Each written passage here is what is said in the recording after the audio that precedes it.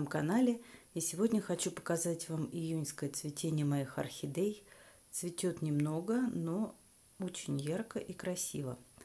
Орхидеи стойко пережили нашу недавнюю жару. И некоторые из них даже на балконе. Пришлось потрудиться, чтобы создать им комфортные условия. И вот наша первая красавица. А, Ее я получала недавно а, от Ефон через сайт Импортфлора из наличия. Она пришла ко мне с цветоносом и растущим листиком. А, это фаленопсис Майдерленд Golden Pumpkin а, номер 4. И вот фаленопсис дорастил свой листик и начал растить бутоны на цветоносе. И вот сейчас эти бутончики постепенно распускаются. Остался еще один. Вот такой вот кустик шикарный.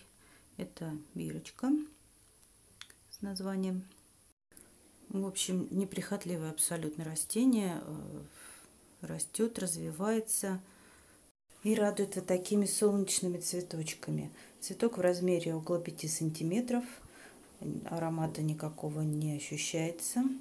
Но ему можно и не пахнуть. Он и так яркий и красивый. Следующий порадовал Ансидион Твинкл. Вот такие вот милые цветочки начали распускаться только-только на цветоносе. Цветочки еще имеют зеленоватый оттенок и белую с желтой серединкой губу. Уже сейчас появился невероятный аромат карамели. Это такая пахучка с очень ярким, стойким ароматом. И у нас 8 цветоносов. Цветоносы не большие, не длинные в этом году. И не особо ветвистые, но их 8 штук. Я его пересадила после прошлогоднего цветения, а, так как цвел он всего на два цветоноса, я решила разделить его на несколько частей и посмотреть, что из этого получится. Переехал он у меня в такой керамический дырчатый горшок. И весной активно начал растить новые росты, а затем и цветоносы. И вот сейчас мы наблюдаем таинство распуска. Следующая красавица, моя любимица, в каждом обзоре она есть, это Леолин Дракон Герл. Цветет уже с апреля месяца, доращивает цветонос и распускает все новые и новые бутоны. Невероятно ароматная, с ароматом розы, великолепные листья. Не перестаю говорить, как я ее люблю.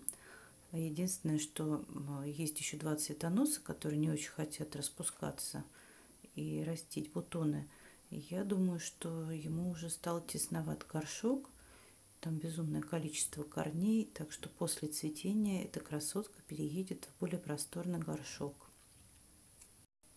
Следующая героиня а, предыдущего цветения также продолжает свое цветение и в этом месяце. Это Зенкмин Анаконда от Ефон. Цветочки стали более яркими так же как и аромат. На солнышке э, такой аромат специй, перца, лимона. А в прошлом обзоре я показывала, что у него начал расти новый цветонос. Вот за месяц вырос такой цветонос и показались бутоны. Кустик довольно крупный, волнистые листья. В прошлом месяце он тоже переехал у меня более просторный горшок и уже активно заполняет его корнями. Вот такая вот красавица. Надеюсь, еще долгое время будет радовать своими цветами. Ну, поэтому мельтониопсису у меня было отдельное видео на канале. Ссылку дам в описании. Можете посмотреть. Это мельтониопсис, который был подарен моей маме на 8 марта – цветение магазинное отличалось от того, что сейчас цветет. Великолепные цветы, бархатные текстуры а, с таким акварельным раскрасом лепестков. Какая-то там принцесса, дюймовочка в центре. Очень красивые цветы. Стойко перенес жару на балконе, несмотря на то, что говорят, а, что мильтонеопсисы любят прохладу. А, этот мильтонеопсис цветет и растит новые росты, пережив очень сильную жару. Конечно, я создавала условия комфортные, но я думаю, не только в моих усилиях тут дело. Не всем мильтонеопсисам нужна такая уж прям прохлада. Вот такая вот красавица. Следующая героиня э, это фаленопсис интермедия оранж. Ее очень неудобно снимать, потому что цветонос огромной длинной удочкой постоянно куда-то отворачивается, растет, как ему вздумается, то в одну, то в другую сторону. Соответственно, цветы тоже поворачиваются в разные стороны. И снять его с одного ракурса очень сложно – красивые цветы с нежно-розовыми всполохами, оранжевой губой. Губа при распуске имеет более малиновый оттенок, но потом перецветает в оранжевый. Постоянно доращивает свой цветонос и распускает все новые и новые бутоны. Получала я его тоже а, вместе с золотой тыковкой. Вот название а, через группу Импорт Флора а, от поставщика Мики. С цветоносом уже этот цветонос распустился и продолжает свое цветение. Пытаюсь все смонтировать ролик а, отдельный по его цветению. Каждый раз приходится доснимать что-то, потому что доращивает цветонос, открывает все новые и новые бутоны. Но я думаю, этот процесс будет бесконечный – Поэтому в ближайшее время смонтирую ролик и выложу его на канале для того, чтобы вы полностью могли насладиться его цветением. Следующая красавица – это котлея, которая цветет у меня уже две недели. Тоже на балконе обитает. Тоже принесла жару. Это котлея «Война и леопард».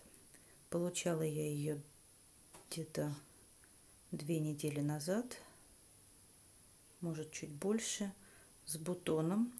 А, покупала из наличия в группе Орхидеи Азии. И вот бутон распустился.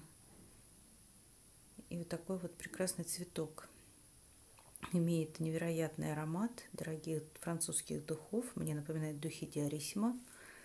Очень красивый яркий цвет. Губа невероятной красоты. Эти крапушки. А, растет он в кокосе. Я его пока не пересаживала, потому что цветет и жду появления новых корней. Вот сейчас я заметила, что появились новые корешки. Так что буду ждать окончания цветения и пересаживать эту котлею. Вот она в таком решетчатом горшочке, внутри кокос. Весь горшок оплетен корнями, живые корни есть, к счастью. И нарастут новые, так что пересадку, я думаю, она переживет достаточно легко. Вот такая бирочка с названием. Здесь только указано имя клона. Война леопард. В общем, не перестаю восхищаться красотой этой котлеи. А, она является одним из родителей всем известных, популярных сейчас дуриганов. И я думаю, что она не менее красива. Хотя дуриганов просто огромное разнообразие цветов. Эта котлея не менее шикарна – и аромат, конечно, просто взрыв эмоций. Невероятный аромат.